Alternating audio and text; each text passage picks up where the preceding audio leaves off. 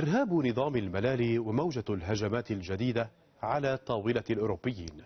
ففي بروكسل عقد مؤتمر ناقش الهجمات الإرهابية التي يقف النظام الإيراني وراءها في أوروبا. المؤتمر بعنوان موجة جديدة من إرهاب نظام الملالي في أوروبا ويأتي بعدما اعتقلت السلطات البلجيكية شخصين كانا يخططان لتفجير مؤتمر المعارضة الإيرانية قرب باريس في يونيو الماضي حيث تتعاون بروكسل مع برلين وباريس في القضية.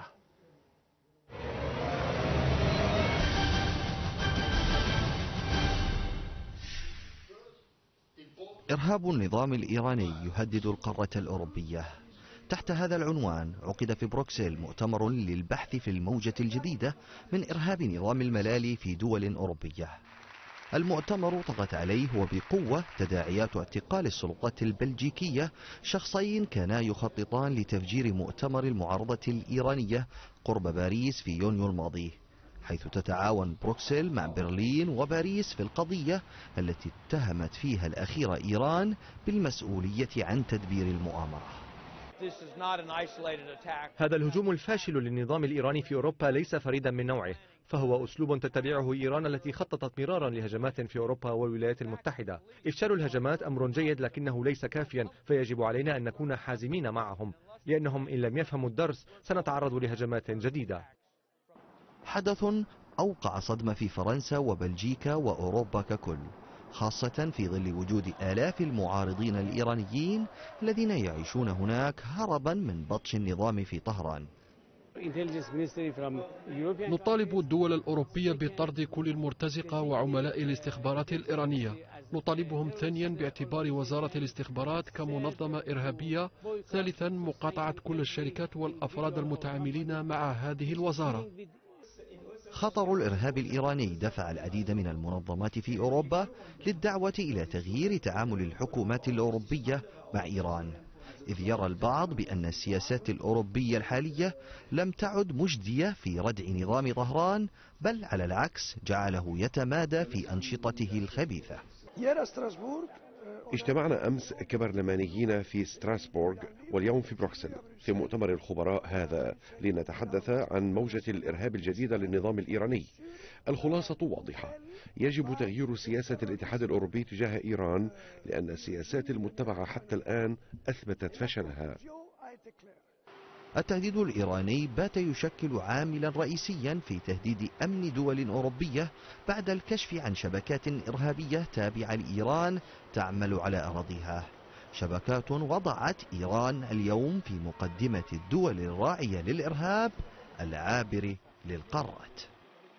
ومعنا من القاهرة رئيس تحرير مجلة مختارات إيرانية دكتور محمد عباس ناجي. دكتور محمد كل ما تقدم عليه إيران في المنطقة وفي العالم بات معلوما ولكن أهمية هذا المؤتمر اليوم في تقديم أدلة وإثباتات وأسماء أشخاص ضالعين بهذه العمليات أو مخططات أو تنفيذ حتى هجمات. أهلا وسهلا بك أستاذ روبير. بالطبع هذا المؤتمر يكتسب أهمية خاصة لأنه ربما الأهمية الأكبر تأتي من ناحية التوقيت. الآن إيران تتعرض لضغوط قوية من جانب المجتمع الدولي وخصوصا من جانب الولايات المتحدة الأمريكية وأنها متهمة دائما بأنها الراعي الأول للإرهاب.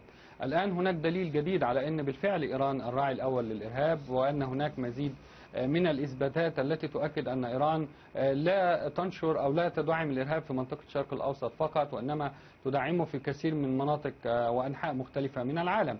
لو لاحظنا سنجد أنه إلى جانب انعقاد المؤتمر كان هناك إجراء مهم من جانب السلطات الألمانية. بالأمس بتسليم الدبلوماسي الذي كان لديها ومتورط في محاولة تفجير هذا المؤتمر.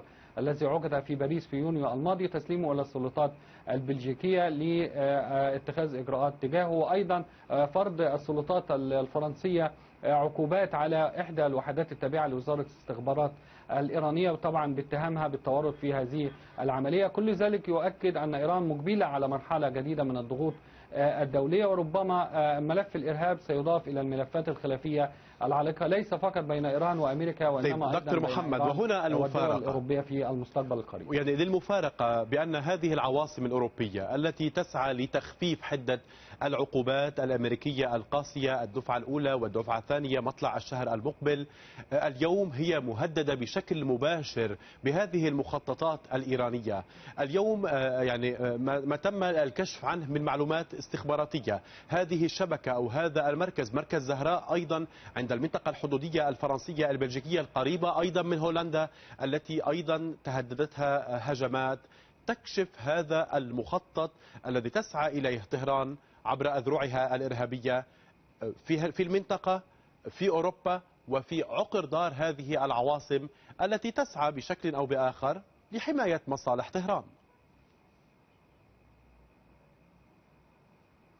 بالفعل أنا أتفق معك في أن ما يحدث الآن هو آه، مفارقة حقيقية خصوصا في الموقف ال- الأوروبي. الدول الأوروبية ما زالت تعول على استمرار العمل بالاتفاق النووي وكما قلت وأنا أتفق معك في ذلك فأنها بذلك تحمي مصالح إيران وربما توجه رسائل خاطئة لإيران ستدفعها آه، آه، حتما إلى الإمعان في نفس السياسة المتعلقة آه، بدعم تنظيمات إرهابية بمواصلة أنشطة خاصة بالبرنامج النووي والبرنامج الصاروخي وأيضا آه، محاولة آه، ربما التدخل في الشؤون الداخلية لدول المنطقة وتهديد أمنها آه، واستقرارها. لكن في اعتقادي مزيد من الأدلة مزيد من ال ال ال الإجراءات الأوروبية التي ستتخذ تباعا في المرحلة القادمة في تصوراتي أنا فأعتقد أن ذلك معناه أن الدول الأوروبية ربما تراجع موقفها تدريجيا بات- اتجاه العلاقات مع آه، إيران لأنها ستدرك أن آه، آه، ربما التركيز على البرنامج النووي على الاتفاق النووي فقط. مع عدم الاهتمام بالملفات الأخرى ربما يهدد مصالحها في الصميم. لأنه ذلك معناه أن إيران ستمعن في نفس السياسة وربما تحاول أيضا استهداف مزيد من الرموز المعارضة الإيرانية.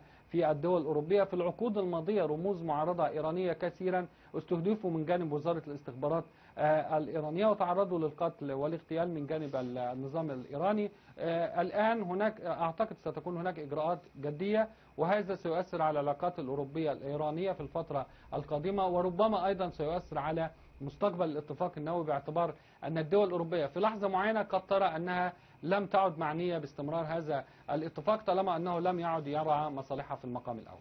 ولكن هذه العواصم الأوروبية تعهدت بحماية آلاف المعارضين طوال العقود الماضية. بعد هذه الأزمات وبعد هذه المخططات اليوم يعني أي مسعى مطلوب من أوروبا من هذه العواصم التي تتحدث عن محاربتها الإرهاب وهو وها هو إرهاب إيران يضربها يعني في عمق مناطقها الاستراتيجية في عواصمها ويتهدد يعني من يعيش على أراضيها.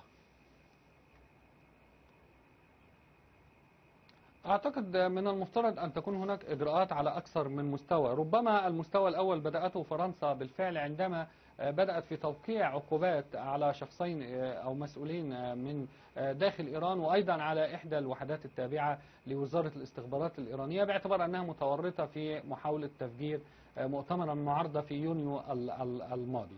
أنا في اعتقادي الإجراء الثاني هو تهديد إيران بأنه في حالة ما إذا أمعنت أو وصلت العمل بهذه السياسة التي تهدد أمن واستقرار ومصالح الدول الأوروبية فإن ذلك معناه التأثير سلبيا بشكل كبير على العلاقات مع الدول الأوروبية وعلى الاتفاق النووي وأيضا على التعاون الثنائي خصوصا على المستوى الاقتصادي. ربما يكون المستوى أو الإجراء الثالث هو تهديد إيران أو التحرك بالفعل من أجل نقل ملف دعم إيران إلى مجلس الأمن. وبالتالي إعادة فرض عقوبات على إيران ليست أمريكية فقط وليست أوروبية فقط وربما وإنما أيضا ربما تكون دولية لردع إيران عن مواصلة أو مواصلة طيب ولكن دكتور محمد هذه الاستراتيجية المطلوبة. عندما يقول النائب السابق لرئيس البرلمان الأوروبي بأن الاستراتيجية الأوروبية فشلت يجب وضع استراتيجية جديدة يجب أن تكون هذه الاستراتيجية سريعة وفورية وطارئة وإلا تعرضت هذه الدول الأوروبية لهجمات إيرانية غير متوقعة من هذه الخلايا ومن عمل أيضا أجهزة الاستخبارات الإيرانية.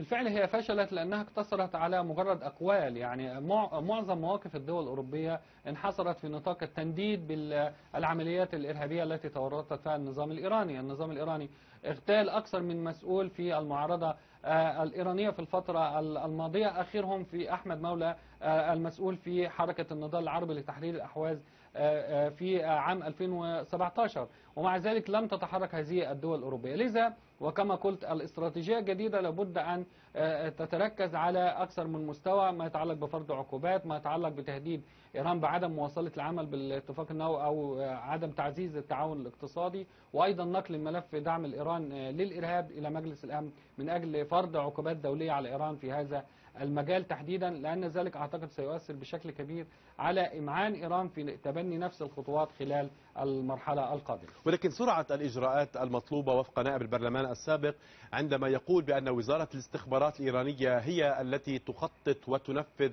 وترتكب كل هذه العمليات يجب قطع تمويل كل ما يتصل بهذه الوزارة. الكل يعلم مدى فعالية وعمل. إن كان الحرس الثوري الإيراني أو وزارة الاستخبارات الإيرانية ما يعني بأن كل هذه المؤسسات الإيرانية المتصلة بالإرهاب مترابطة ببعضها البعض ما يفرض قطع تمويل يعني ما. كل ما يتصل بهذا النظام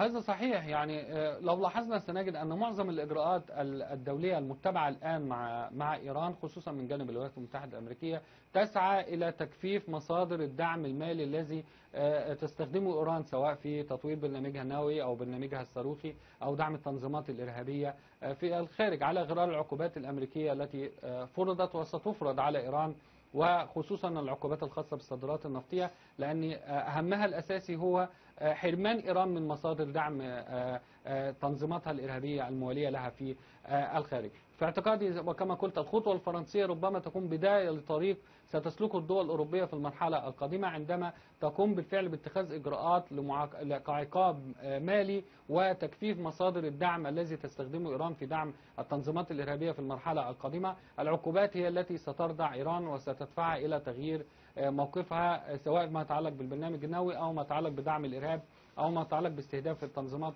آه، المعارضة الإيرانية في الخارج أو ما يتعلق حتى بنفوذها في منطقة الشرق الأوسط. رئيس تحرير مجلة مختارات إيرانية دكتور محمد عباس ناجي كنت معنا مباشرة من العاصمة المصرية شكرا جزيلا لك